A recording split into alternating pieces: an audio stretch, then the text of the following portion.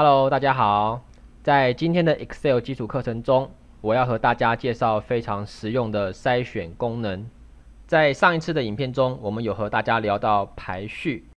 我们知道排序是将一群无序的资料，以数值大小、字母顺序等方式排列出来。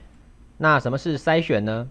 所谓筛选，就是 Excel 会根据你所设定的规则，把符合条件的资料显示出来。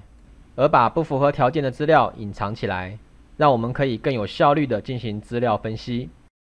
好，那如果今天我想要针对表格套用筛选的功能，首先我得使用滑鼠点选表格内的任意一个储存格，然后到上方的功能区点选排序与筛选，再选择筛选。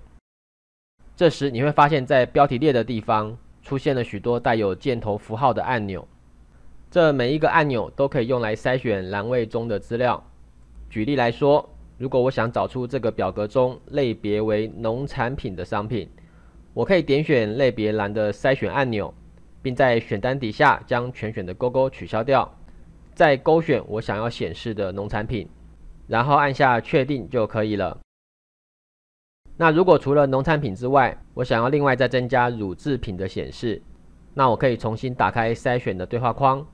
并将乳制品也勾选起来就 OK 喽。而筛选这个功能强大之处，就是你可以针对多个栏位来进行复杂的筛选。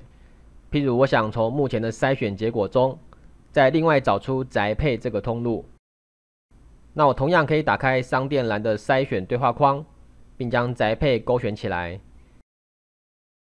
就可以很清楚的了解有哪些资料符合我们的条件。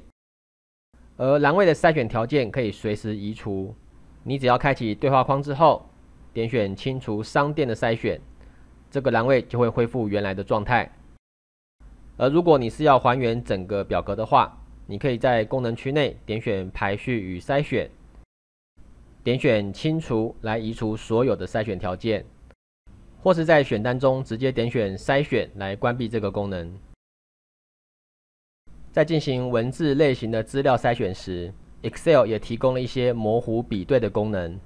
举例来说，如果我今天想要找出所有姓李的业务员，我可以开启业务员的筛选对话框之后，点选文字筛选，再选取开始于，以姓名来说就是指姓氏喽。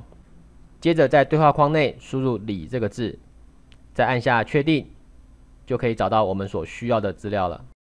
Excel 的筛选也有提供排序的功能，因此像中文类型的资料，我们可以依据笔画来套用由少到多，或是由多到少的排序。至于数字类型的栏位，你也可以套用由小到大，或是由大到小的排序。除此之外，数字类型的资料有所谓的数字筛选功能，像是我们可以去寻找高于平均的资料。介于特定范围的资料。假设你想要查询金额最高的有哪几笔交易，你可以点选前十项。在对话框中，你可以将排名设为最高或最低，单位也可以设为项或百分比。如果我在中间的栏位输入五这个数字，那所筛选出来的就是最高的五笔交易了。至于日期类型的资料，Excel 也有提供日期专用的筛选条件。譬如，我们可以查询特定日期之后的资料，在对话框中可以点选月历按钮来指定日期，再按下确定。我们也可以查询上个月的资料，或是这一季的资料等等。最后，我们来看一个有趣的色彩筛选功能。要测试这个功能的话，你可以按住 Ctrl 键不放，先选取几个你要上色的储存格，再到上方的功能区来套用你喜欢的色彩。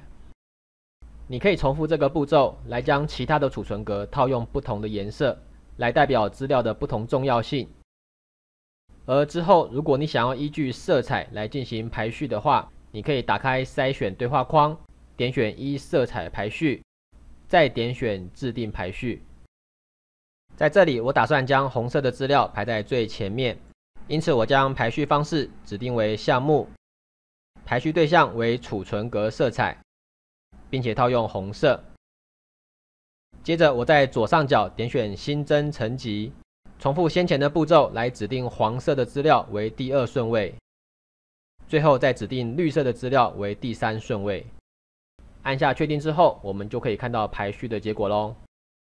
如果你只要显示特定色彩的储存格，你可以在选单中点选一色彩筛选，再选择你要的色彩就可以了。OK，那今天关于筛选的介绍我们就说到这里喽。我们下回再见，拜拜。